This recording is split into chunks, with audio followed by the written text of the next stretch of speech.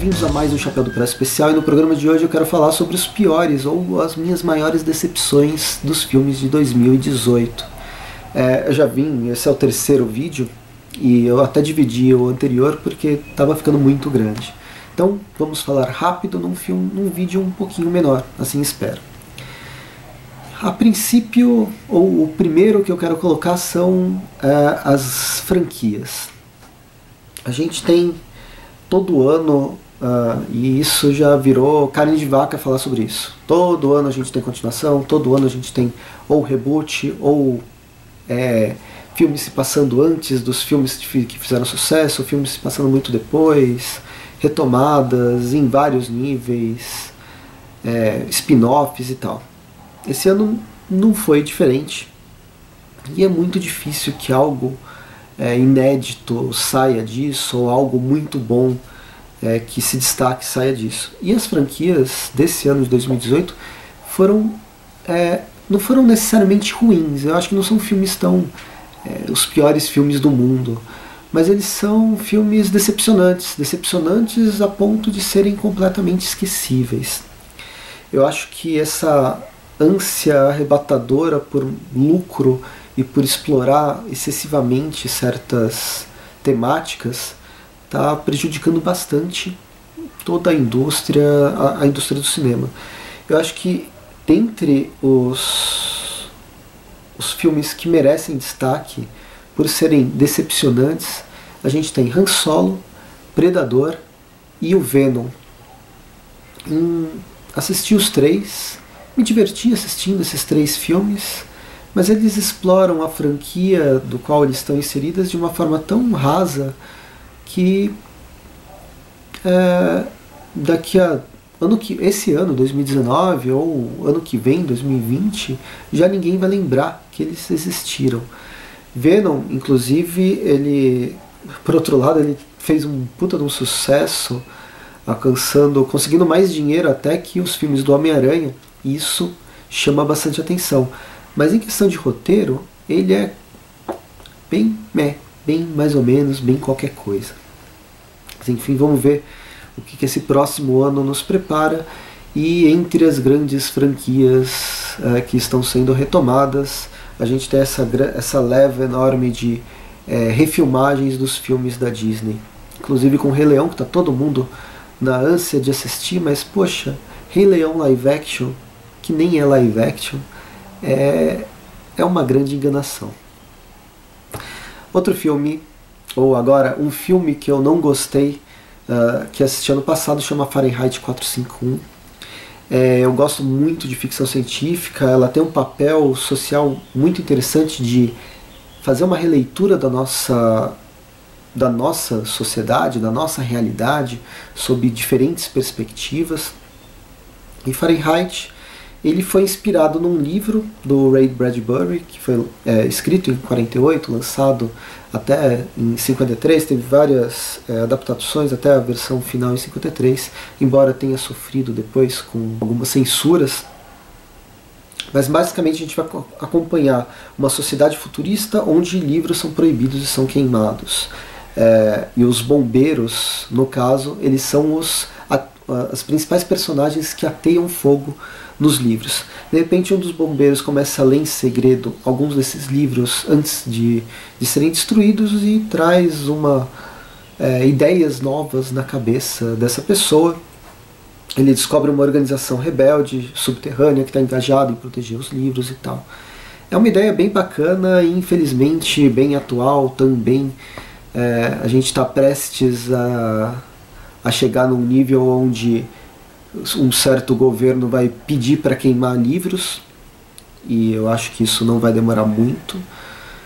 Mas sem entrar no mérito da coisa, o filme em si, ele é considerado uma das distopias da literatura que mais serve de base para outras distopias atuais, é, como influência e tal.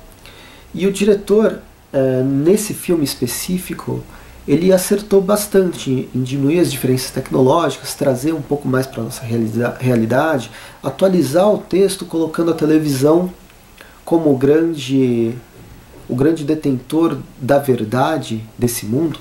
Agora talvez seja o WhatsApp, não a televisão.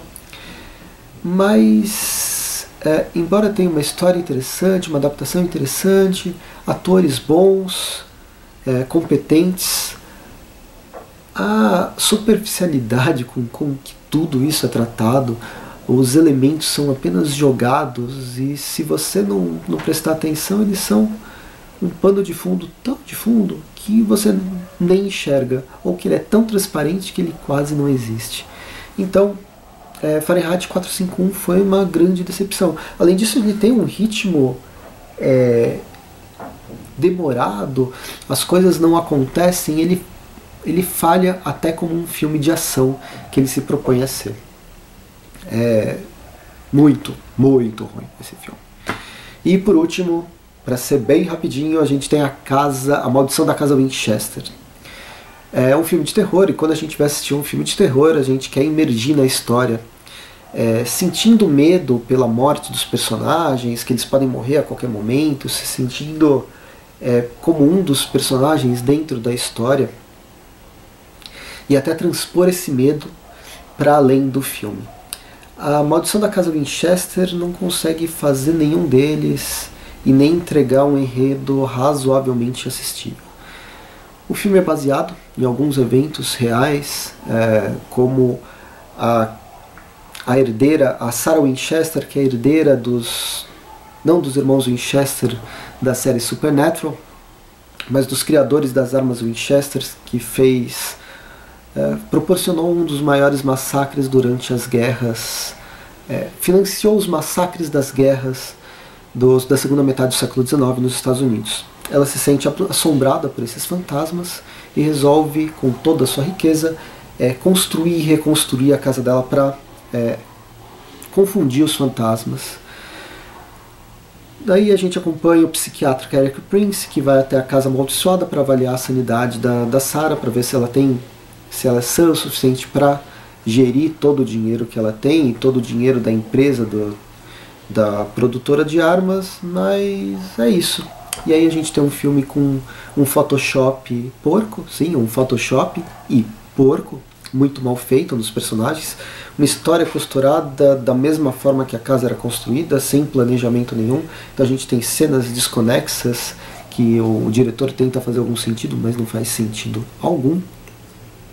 É, poderes e que personagens que os principalmente os fantasmas ganham e depois perdem simplesmente para justificar o desenvolvimento do roteiro, roteirismos forçados, atuações preguiçosas, é uma somatória enorme de coisas ruins, de, é, de problemas que esse filme traz. Eu acho que o único terror que realmente ele me causou foi pensar de viver em uma casa que está numa reforma eterna.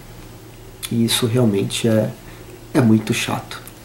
Mas enfim, é um filme ruim. Fuja do filme, fuja da maldição da casa Winchester. Tem muito filme B que é muito melhor que esse.